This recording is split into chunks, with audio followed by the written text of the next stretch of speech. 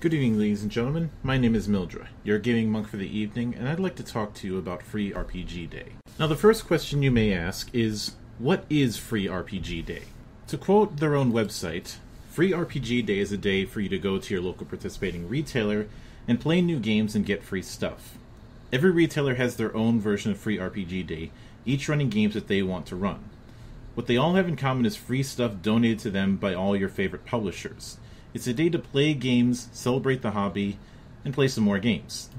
Each store will have their different games that they'll participate with, and it will vary from store to store. A few examples of some of the games that are being present in this iteration are Starfinder, RuneQuest, Dungeon Crawl Classics, Conan An Age Undreamed of, Numenera, Lamentation of the Flame Princess, Torg Eternity, 13th Age, Penny Dreadful, Borderhounds, and The Ninja Crusade.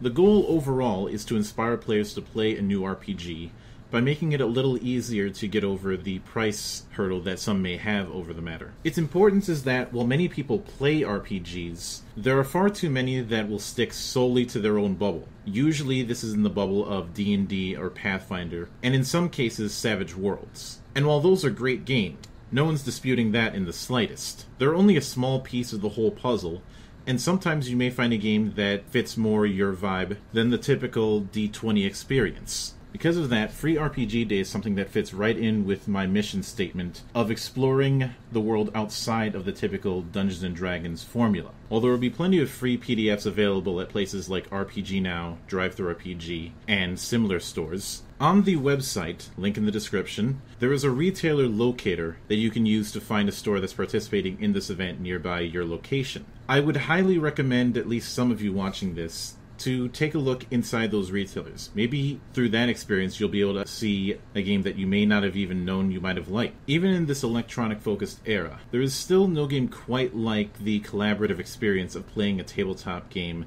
together with other people. It's an experience that, in my opinion, cannot be replicated through video game experiences, even in the case of MMOs.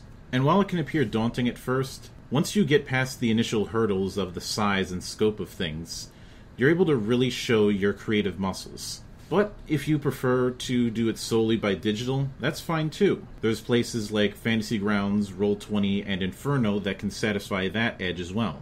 No matter which way you choose, there are multiple ways to pursue this hobby, and I highly recommend everyone try it out at least once. It is daunting, but so are the most difficult of video games, and just as rewarding when you manage to overcome those hurdles and bring everything together. To quote the tagline for the Free RPG Day event itself, give a little game. Until then, my name is Mildra, I'm your gaming monk. Stay fucking frosty, everybody.